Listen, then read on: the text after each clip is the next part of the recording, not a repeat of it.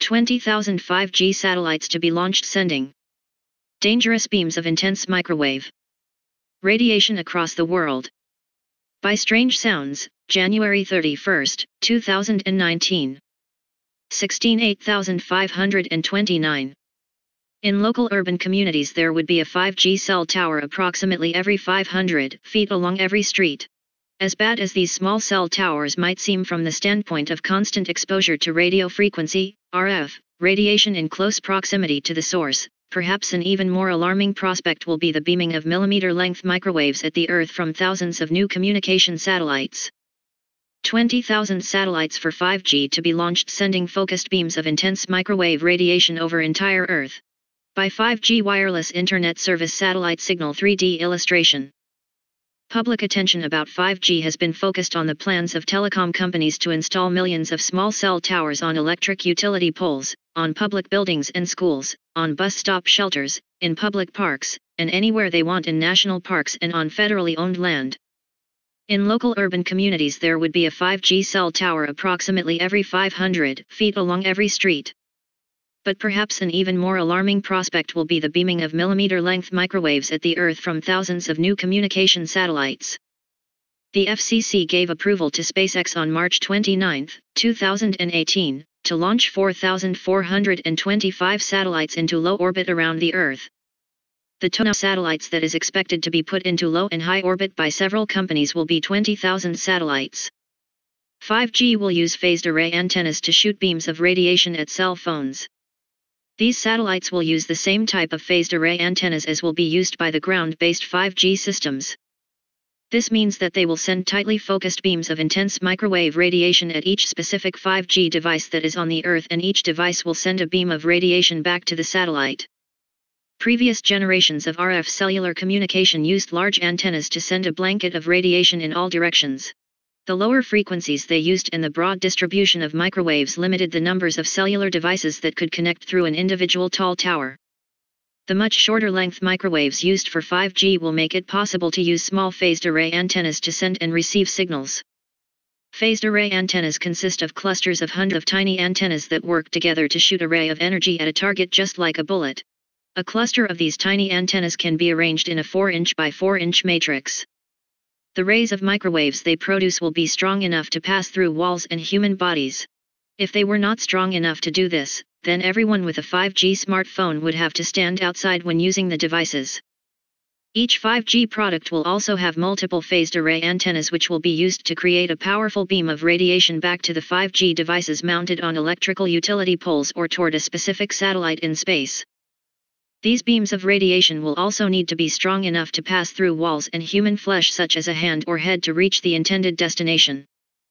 This means that if you are in a crowded location, such as an airport or on a train, there will be hundreds if not thousands of invisible beams of radiation flying through the environment at the speed of light.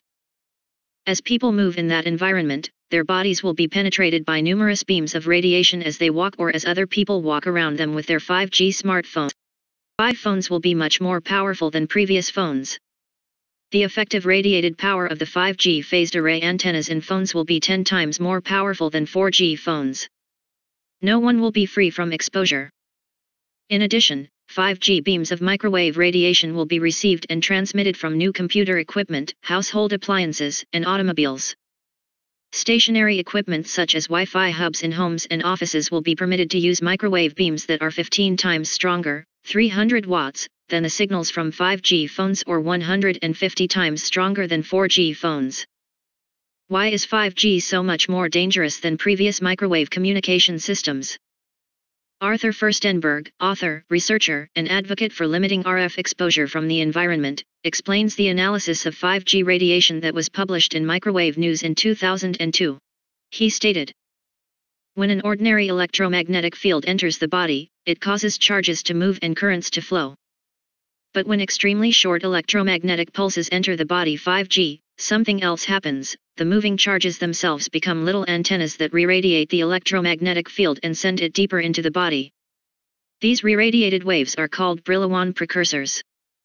They become significant when either the power or the phase of the waves changes rapidly enough. 5G will probably satisfy both requirements. This means that the reassurance we are being given that these millimeter waves are too short to penetrate far into the body is not true. 5G satellites will fill the skies.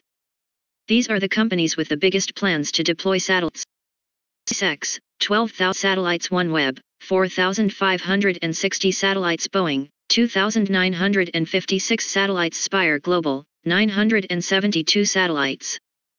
Arthur Firstenberg describes the plans of corporations who want to use 5G technology.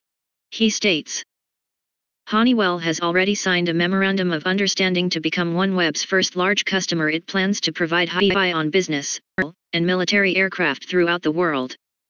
SpaceX would like to provide the equivalent of 5G to every person on the planet. Ground-based 5G implementation Ground-based 5G systems are already being implemented in dozens of major cities right now.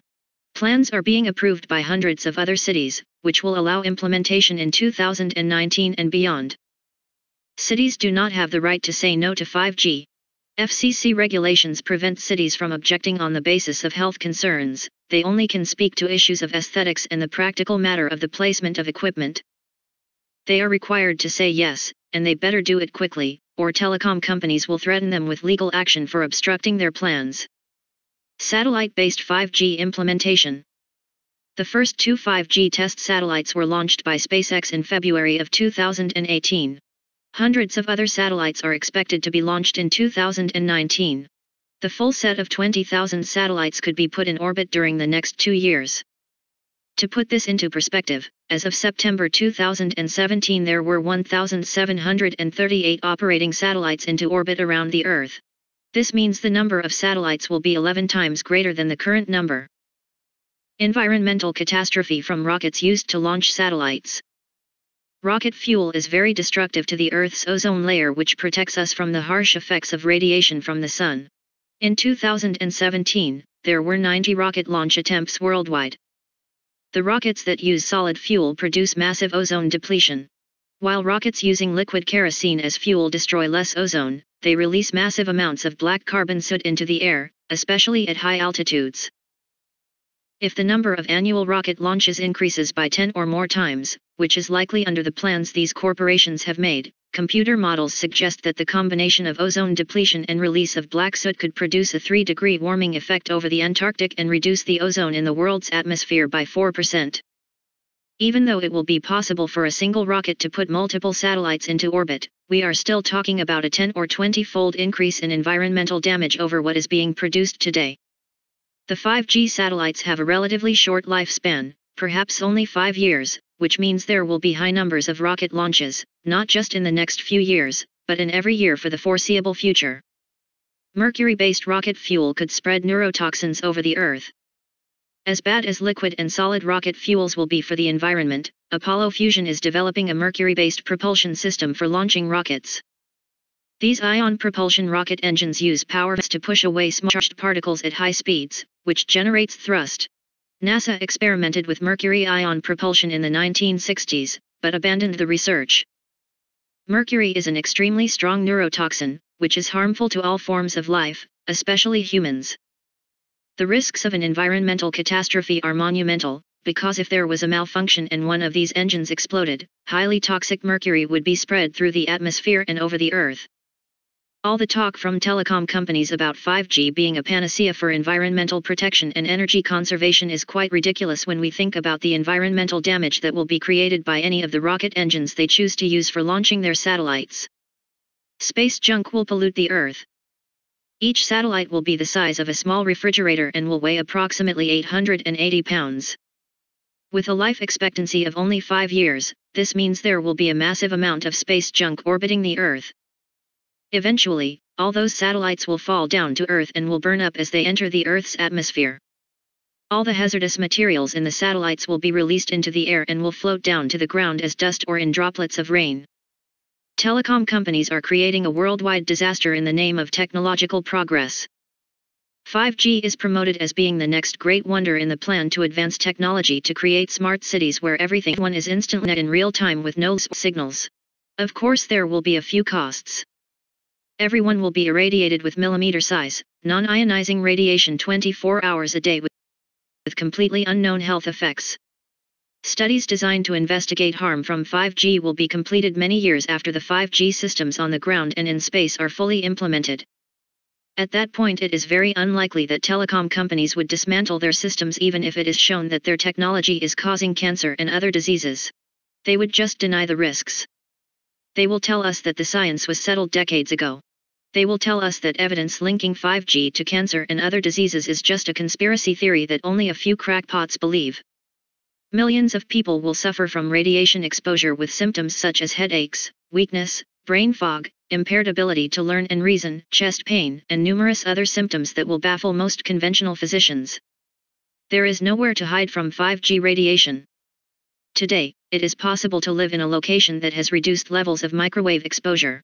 This is accomplished by choosing a living space that is far away from cell phone towers. However, in the near future, it won't matter where we live, because 5G will irradiate us wherever we happen to live or work. Cities can't say no to 5G implementation. FCC regulations have been structured in such a way that local municipalities cannot stop telecom companies from installing 5G. They are specifically prohibited from trying to delay or stop 5G implementation on the basis of health concerns. Their only recourse is to try to make the ground-based 5G system somewhat more aesthetically pleasant. Based on what has been happening around the country, telecom companies are sweeping aside local resistance and gaining approval for their 5G systems in rapid succession. Can 5G implementation be stopped? As far as I can tell, at this point, the only way that 5G will be stopped will be by congressional action.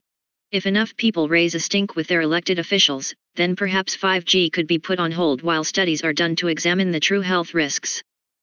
Telecom investment in 5G has been massive. They are planning implementation on the ground and in space in the next couple years. The time to object is now and not after hundreds of thousands of people become sick. Be ready for 5G radiation even if you don't want it.